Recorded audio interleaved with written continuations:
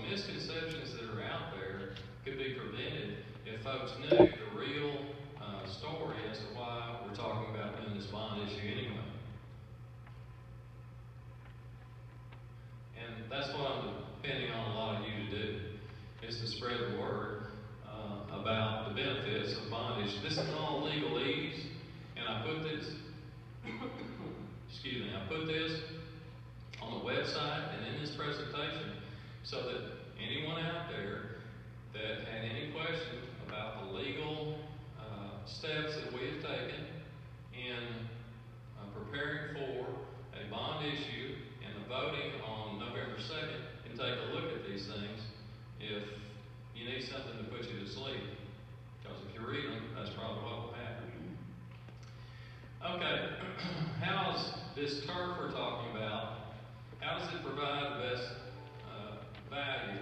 And I'm not going to go through all this, but I will, again, I'm going to go back to spending just on the football field. We're not talking about what we spend in maintenance on baseball, softball, but just on the football field. If you're only utilizing that football field four or five hours a week, if every week we have a home game, we would still only be utilizing it about four or five hours a week. Compare that to, and here's here's about what they estimate uh, $91 an hour.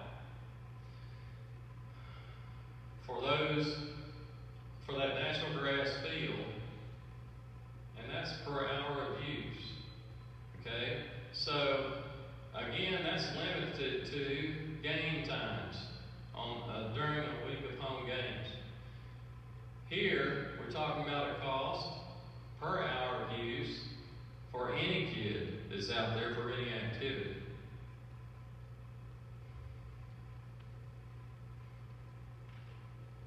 I don't know who really breaks this down, but the thing that I look at is how many kids can utilize the fields. And when can they do it? Can PE get on it? Yes. Can the band practice on it? Yes. Can junior high and high school football teams practice on it? Yes. Turf benefits, essentially, we probably talked about these. Uh, in fact, I have, have talked about that, that you can practice on the fields. You can, uh, they can incur a lot of use compared to a grass field. And this is talking about 3,000 hours of play a year. That's a little bit more than six home games in four hours. So, What's the warranty on the turf? I called the other day, the warranty on the turf we're looking at is 10 year warranty. And thanks for asking because this brings up another thing. At our last meeting, we had a person, a good question, said, Well, how much is it going to cost me after re turf all this field? Well, in the first place, I need to go back to my slides so I can let you see it because I think you remember it easier when you see it. See this, these infield areas right here? Now, those of you that have been around softball or baseball know that 90% of the activity goes on where? In the infields. And so, you know, our kids, when they grew up, they used to be out here in the outfield. Mine usually squatted down and picked flowers or, you know, took a nap or whatever. There's not a lot of traffic out here on this part of these fields. And uh, the school that I was at prior to this built three fields like this, and the only thing that's been replaced, that was eight years ago, that we did the field, actually nine years ago we did the fields. The only thing that's been replaced right now is the home plate area, this area around, and remember these are turf also, but they're just color different. In fact, this infield probably be the same color to resemble a dirt infield, but it'll be turf. Those high use areas, they can just come in and put new carpet down. Now, if you want to replace that whole area or this whole area, you're talking about anywhere from 80,000 to one hundred twenty thousand dollars for those areas. A football field, if you replace the whole uh, external turf or the skin of the field, you're talking about probably two hundred fifty thousand to three hundred thousand dollars for only turf. That field, or those fields that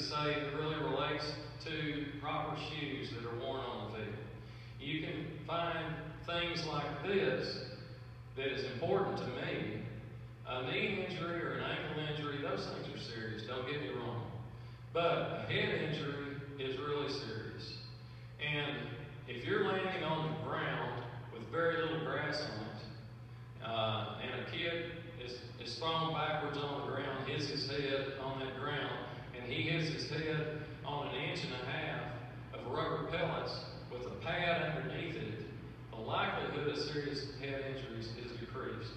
There is no doubt about that. And so, in, a, in concern to for the safety of your kids, I really like what the turf fields offer. Well,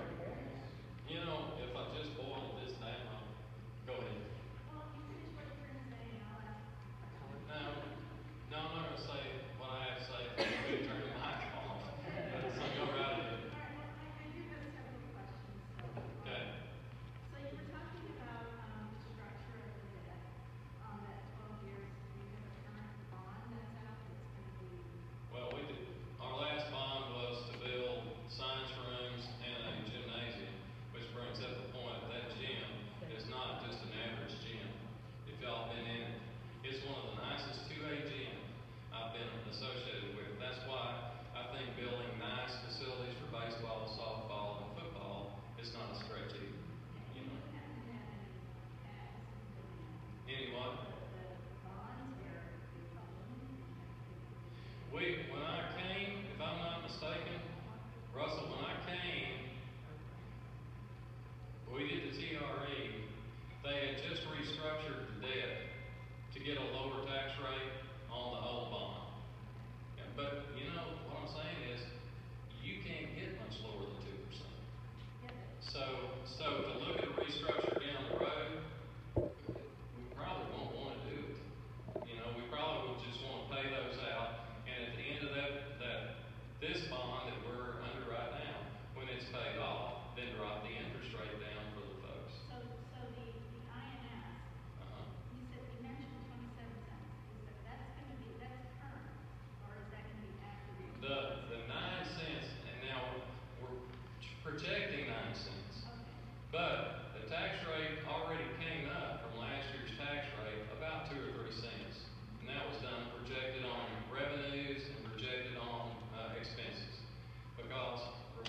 expenses, if we give teachers raises and that type of thing or benefits, then that's where our major part of, of our expenses come. But as far as um, what if seven or eight years from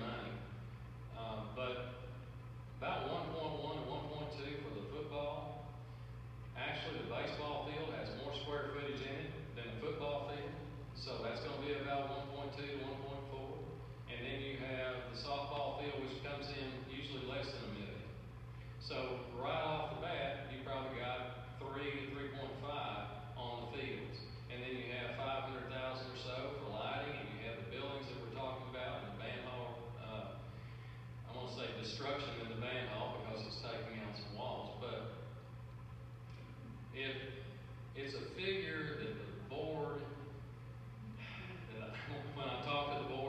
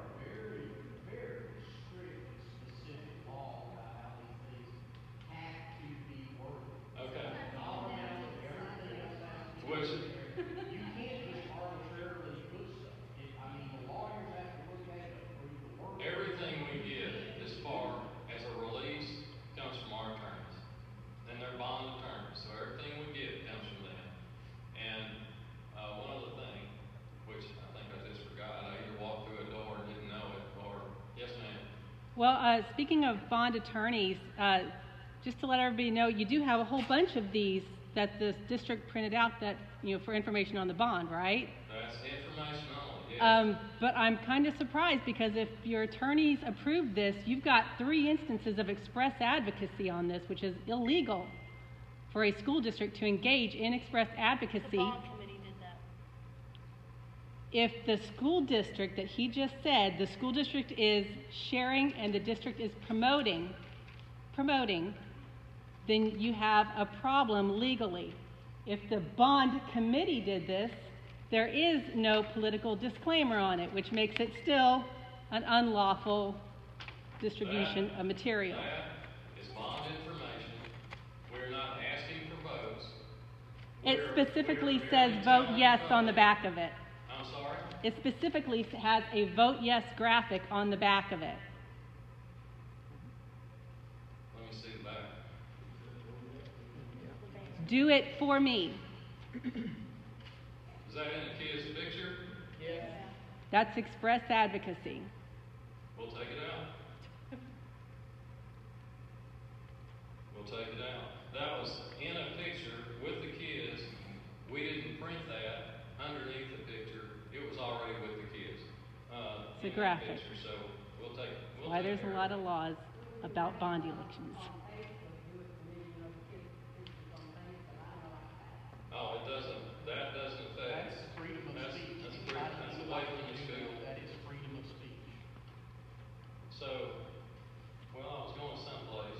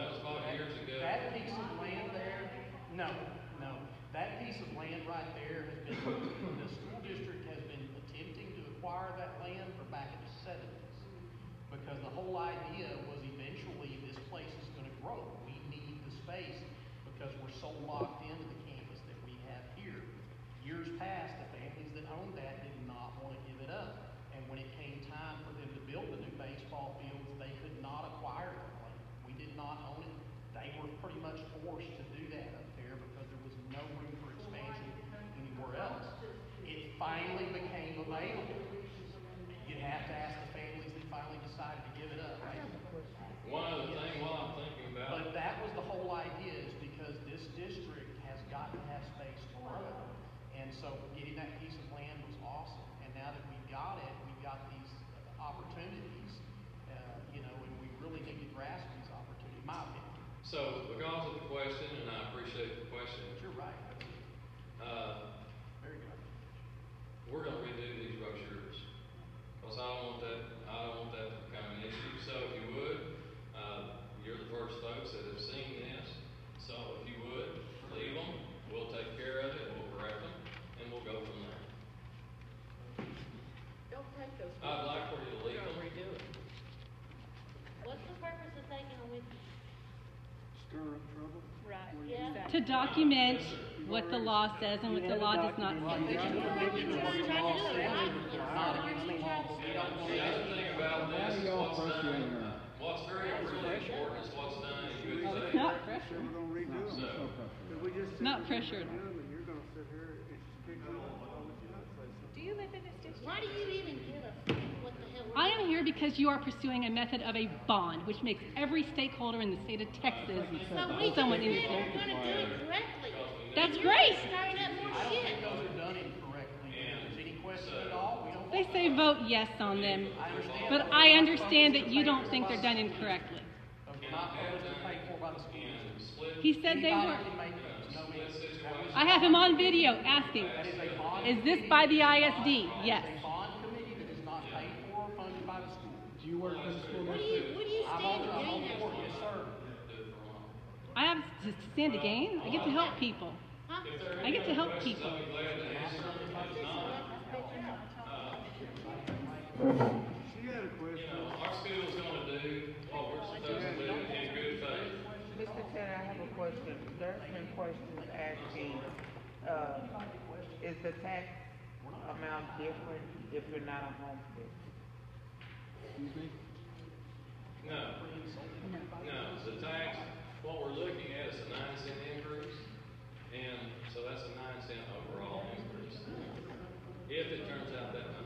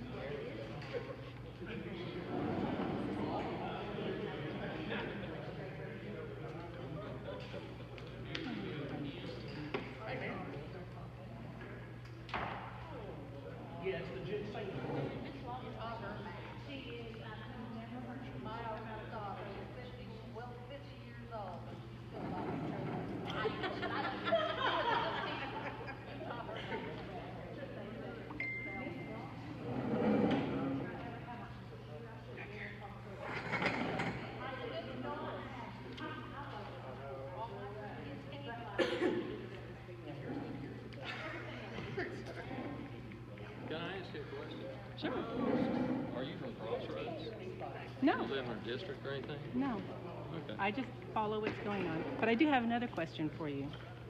If this was paid for by the co- bond committee and distributed by the bond committee, why would you need to It contact the wasn't paid district for attorney? by the bond committee. We can produce any factual material to get out to Mm-hmm. the public that we want to. Okay, We can do that. okay, just wanted to verify that because they were saying it wasn't. and- But I don't think anybody can make sure that we're up to the law. What I did, like I said, I don't think we need to. Good thing. And if there's something that somebody feels like we're not doing right,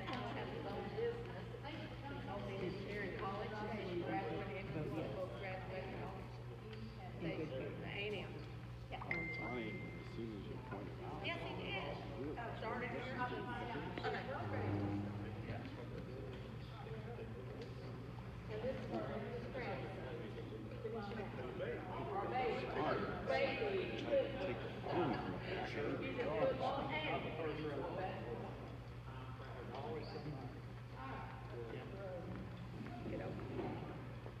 I still don't know. I don't have to ask, but maybe this is.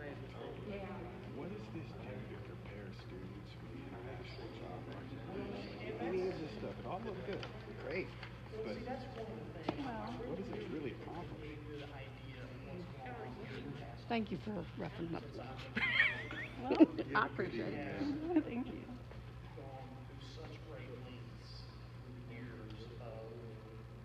gone through such